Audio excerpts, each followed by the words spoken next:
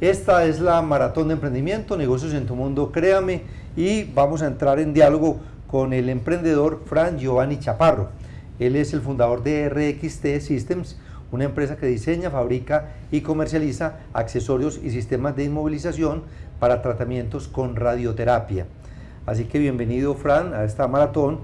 Y bueno, usted nos dice que la zona de confort es muy peligrosa para un emprendedor. ¿Cómo es eso? Eh, muchas gracias por la invitación. Bueno, eh, yo considero que mientras uno no arriesgue eh, salirse pues, de esa zona de confort, eh, yo duré más de 15 años trabajando en diferentes servicios de radioterapia y estaba muy cómodo, pero tenía muchas inquietudes, tenía muchas incertidumbres para yo poder realizar mi emprendimiento. Hasta que no suceden las cosas y uno no se da de esa zona de confort, no puede ver los resultados y empezar a crecer rápidamente pues, en el mundo del emprendimiento. Y hay que empezar a vencer también el miedo, ¿no? Bastante, sí. El miedo es algo que, que se necesita, pero también, también eh, hay que ser equilibrado para uno eh, no cometer errores, pero también tiene que arriesgar y vencer temores, vencer miedos y creer mucho en la idea de negocio que uno tiene. Fran, usted también nos trae hoy un tema que es bien importante y es aprender a delegar, a tener un equipo de trabajo en el cual apoyarse. Sí, en este eh, año que llevo pues, en el mundo del emprendimiento, me he dado cuenta que uno tiene que estar rodeado eh, muy bien de personas que lo apoyen, no tener miedo a exponer su idea de negocio, a el temor a que se la roben, porque si uno está seguro de sus cosas, eh, pues es muy difícil. Y eh, apoyarse uno, bien sea con las personas correctas y con las organizaciones que le ayudan a uno para no sentirse solo en este mundo. Bueno, hablando de organizaciones, por acá tenemos a Créame, aquí está Alejandro Jaramillo que le va a formular algunas preguntas.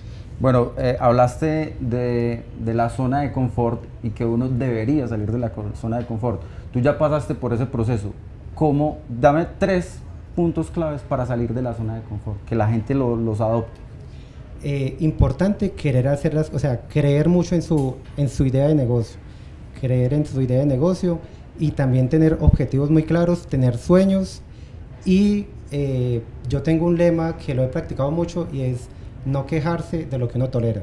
Si uno ve necesidades, si uno ve conflictos, cosas, no empezar a quejarse, sino actuar y hacer esa diferencia. empezar a crear, empezar a, buscar esas soluciones y no ponerle la queja a los demás, sino hacer las cosas por uno mismo, cuando uno tiene esa, esa venita del emprendimiento y de la creatividad.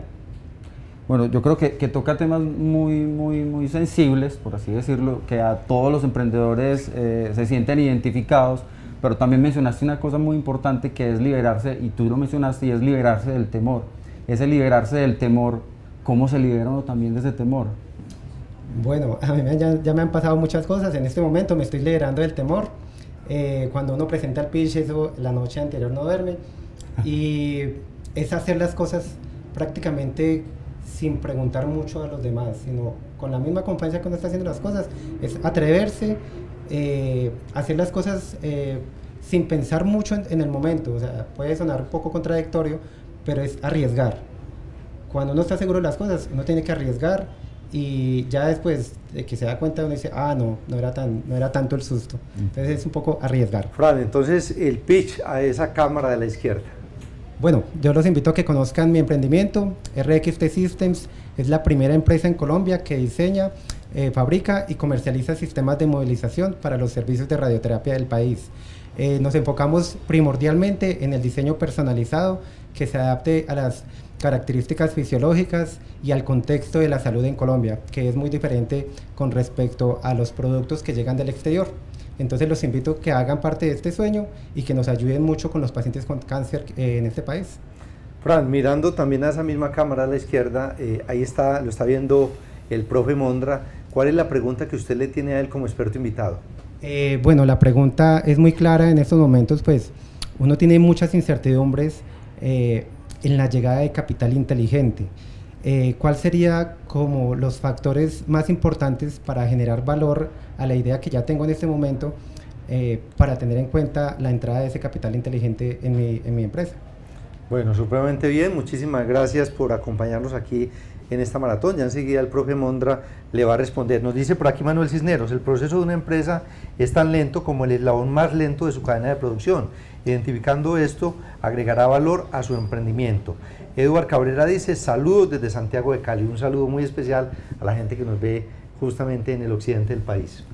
Eh, bueno, de, aquí creo que no, no me voy a adelantar a, la respuesta, pero, pero creo que, que, él menciona algo muy importante y es, y es el capital inteligente. Y tú hablas también en, en, el, en el, proceso eh, de generación de valor, eh, cómo se convierte ese capital inteligente también en, capital, no sé, financiero por así decirlo, porque también es valorado por los inversionistas. Bueno, entonces una vez, profe, la respuesta, ¿no? Sí, tratando de ser bien concreto. En el capital inteligente no solamente debemos de pensar es en el dinero físico per se, sino que quienes vienen detrás de ese capital tengan también eh, un aporte muy significativo en términos de experiencia, know-how, contactos, que ayuden en los procesos internos y de pronto reformularlos, o incluso a la capacitación del liderazgo que ya está presente en la empresa. Eh, hay aspectos cualitativos que el invitado acaba de mencionar y es asociado precisamente con esa zona de confort, con la persistencia, con el ánimo, con el deseo de salir adelante. Pero al final del día, los eh, capitales inteligentes, el inversionista inteligente lo que está pensando es que todo ese aspecto cualitativo de mucho ánimo tiene que traducirse finalmente en números y que ese plan de negocios realmente esté lo suficientemente bien estructurado y realista para que al final del día se puedan dar cuenta hasta dónde no vale la pena invertir en el negocio. Entonces, en ese orden de ideas, no solamente quedarse con el aspecto anímico, pero más importante también es aterrizar absolutamente todos los conceptos a la luz de lo que es su focus, su estrategia de mediano y largo plazo, en números que cuantitativamente esos llamados capitales inteligentes puedan rápidamente analizar e identificar si tiene o no tiene sentido invertir en esa empresa.